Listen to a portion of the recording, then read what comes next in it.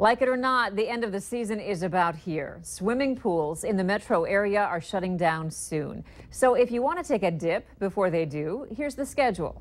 Four of the five Fargo pools are done Sunday.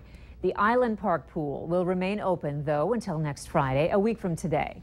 The Moorhead pool shuts down Wednesday. West Fargo's pool season is done a week from Sunday, and Dilworth's pool will remain open until Friday, the 26th. Heart